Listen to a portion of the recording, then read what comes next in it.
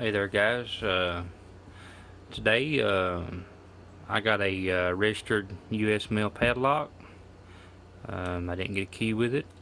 Um, I opened it up once. It has a, it's been opened 797 times. Um, really, it's a cool lock. Um,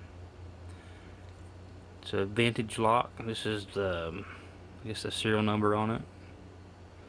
Uh, let's see if we can open it up.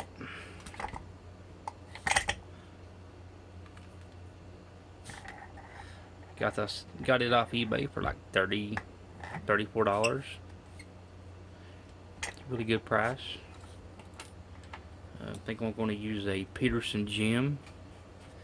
It's got a better hook on the end of it.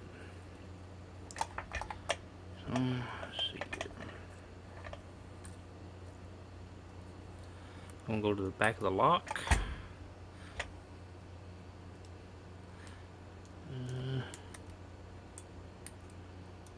okay, there's pin one.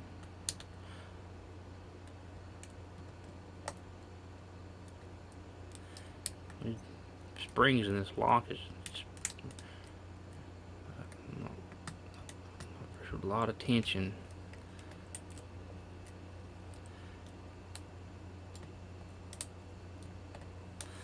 Not sure if I overset it or. Okay, I just better give a little bit. And there it is, picked open.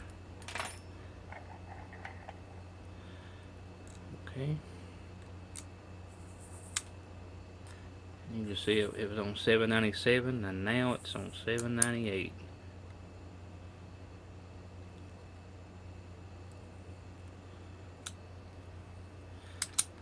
Anyway, guys, uh, it's not a very long video, but it's um, registered U.S. mail padlock. Um, I'm into doing a lot of vintage padlocks, so very cool, very unique. Um, I advise all lock pickers to open up old locks. It's, it's cool.